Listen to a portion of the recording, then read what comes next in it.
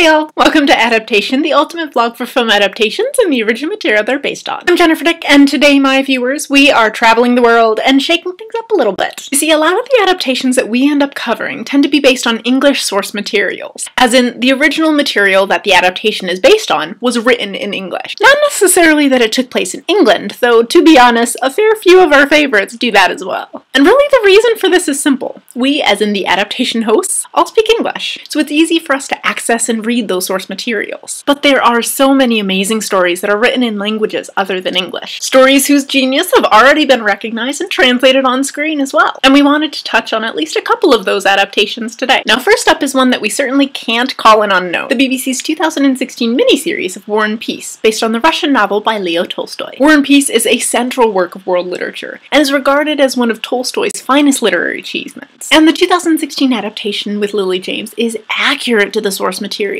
while keeping viewers engrossed as well. In fact, it was named one of the greatest TV costume dramas of the last decade. Next on the list is yet another one that has seen multiple adaptations in its time. Les Miserables, first written in French by Victor Hugo. And no, I'm not talking about the musical version here. The version that's made our list is the 1998 film starring Liam Neeson and Geoffrey Rush. Now this one does have its faults. Uma Thurman as Fantine comes to my mind, but I mean Liam Neeson. Need I say more? And then moving into more modern day adaptations, we have Stieg Larsson's The Girl with the Dragon Tattoo. And yes, that is the translated title, because I don't think anyone wants me to try saying it in Swedish. I'd probably end up accidentally offending someone. This psychological thriller has already been adapted several times, but it's the 2009 Swedish version of the film that's made our list. Why, you may ask? For being, as Jess so eloquently puts it, disturbingly accurate to the source material. And with this book, disturbing is really the best compliment you could give it. So now traveling back to France with the film Un long dimanche de fiançailles. This film was based on the novel by Sébastien Japrisot and tells the story of a woman's relentless search for her fiance after his reported death in World War I. And just like the book, the 2004 film ticks a lot of boxes. A bit mystery, a bit romance, a bit war epic, and it does have those few humorous moments as well. Definitely worth a watch. And you know what else is worth a watch? Try Mulan. Now, I'm not talking about Disney's Mulan here, though that movie is one of my favorites. I mean the live-action Chinese movie, Mulan Rise of a Warrior, released in 2009. This movie, as well as its animated predecessor, is based on the Ballad of Mulan, which is about a legendary woman warrior who took her father's place in the army. Now, the lack of great detail in the original poem means that any adaptations about it inevitably have some wiggle room. And they do wiggle with this one right into my heart. And for our last two favorite foreign adaptations, we actually did go animated. Firstly, there's the television show Moribito, Guardian of the Spirit. Now, you will notice that this is the first and last anime on our list. The reason for this is that we did restrict our host from naming any anime that's originally based on manga, with the argument being that there are way too many good ones to name. It can be a topic in and of itself, and it probably will be. However, we have let this one slide through because it's not actually based on a manga. The anime is based on the first book in a series of Japanese fantasy novels written by Naoko Uehashi. Now, I do admit that this series takes its liberties. It's a lot longer, for one thing, and the ending is significantly different. You know what? It's still so much fun to watch. And then last but not least is the TV adaptation of W.I.T.C.H., based on the Italian comic book series of the same name. The comics have run in over 65 countries, have over